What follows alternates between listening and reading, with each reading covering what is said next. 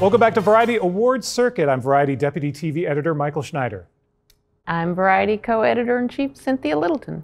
And Cynthia, we're talking SAG Award nominations, and this time out we're going to talk the male actor categories. So let's kick things off with drama.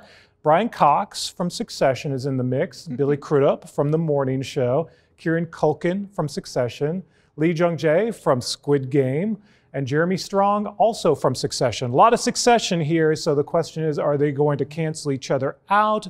Is there a chance for Lee Jung Jae maybe to make some history? It does feel like this is Succession's year. There's times when you have multiple people from a show in the same category, they cancel each other out, but it feels like this show just has so much, especially among actors. It is an actors show, and especially among actors, that that that the votes are going to gravitate that way. Yeah, I would say be more likely if there were just two, but because there are three, I think there are Brian Cox fans, there are Jeremy Strong fans, and of course, who doesn't love Kieran Culkin? Kieran and stands. if, if enough of them are split, then I think Lee Jung Jae could sneak in and, and win it, especially if enough people are saying it's time to make history. So we shall see. Of course, I love Billy Crudup as well, but you know, it's again a stacked category. Mm-hmm. Comedy, just as hard. So on, on the male actor in a comedy series, we've got Michael Douglas from The Kominsky Method. We got Brett Goldstein as Roy Kent on Ted Lasso.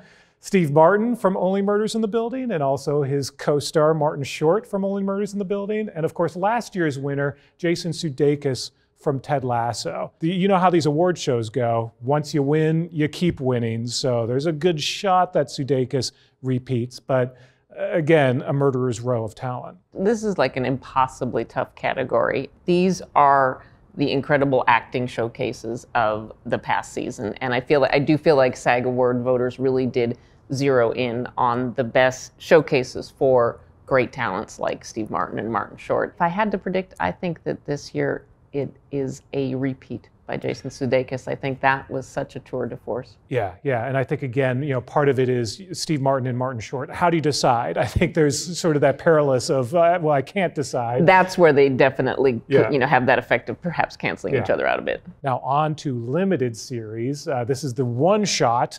Uh, in most of these cases, we know wink, wink. Sometimes these shows come back as series later on, but at least for now, uh, these are the one and done shows. Murray Bartlett, of course, from The White Lotus the things that he had to do on that show, if you went back and watched that finale one more time, I mean, I think that that's probably also a stunt. Maybe he should have been nominated for that as well. But Oscar Isaac from Scenes from a Marriage, Michael Keaton uh, from Dopesick, uh, Ewan McGregor from Halston, and Evan Peters from Mare of Easttown.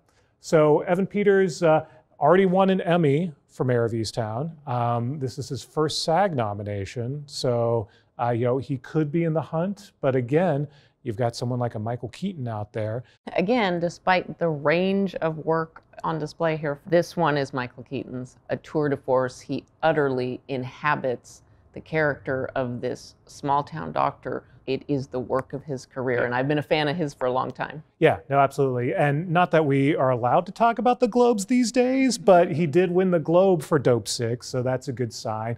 Keaton's also won three previous SAG awards, so clearly beloved by his fellow actors. So I think this may be the, the toughest category to, to, to call is the, the limited series. And I think we'll leave it there with the male actors. We'll talk about more categories next time here on Award Circuit, but for now, I'm Michael Schneider. I'm Cynthia Littleton. Thanks for watching.